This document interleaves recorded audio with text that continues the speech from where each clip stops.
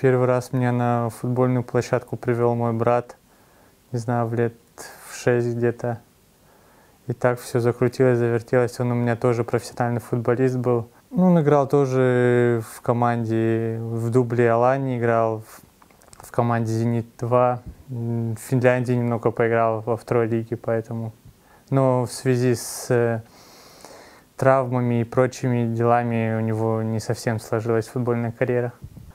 Поэтому с первого касания мяча, как говорится, я полюбил эту игру и с тех пор ее очень люблю.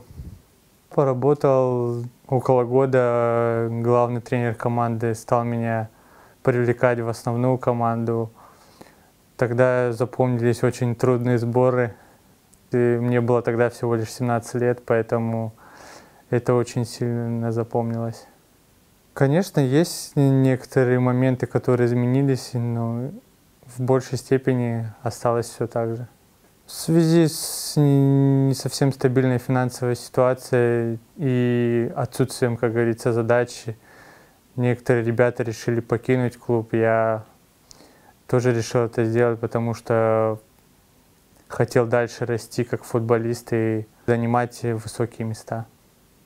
Обговорив, во-первых, со своей семьей, э, со своими представителями, решили, что продолжить в этом клубе карьеру будет правильным, потому что предложение поступило лично от главного тренера, это самое главное. Тем более, что клуб э, будет выступать в Еврокубках, и большие стоят э, цели и задачи перед этим клубом. Знал то, что Астана достаточно хорошо выступает в Еврокубках. В прошлом или позапрошлом году они, по первый раз вышли в плей-офф Лиги Европы. Знаю, что это очень достаточно крепкий чемпионат, потому что выступая за другие команды, мы играли на сборах э, с казахстанскими командами, и поэтому знаю их силу.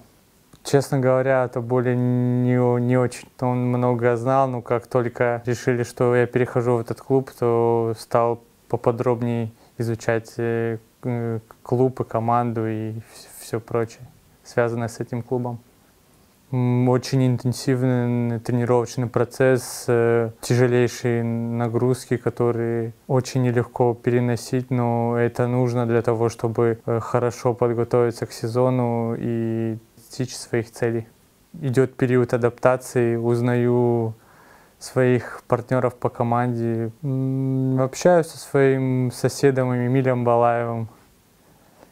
Так еще есть свои знакомые, это Витя Дмитренко, который я выступал в Краснодаре, он знает там моих одноклубников бывших, поэтому через знакомых мы тоже знакомы с ним.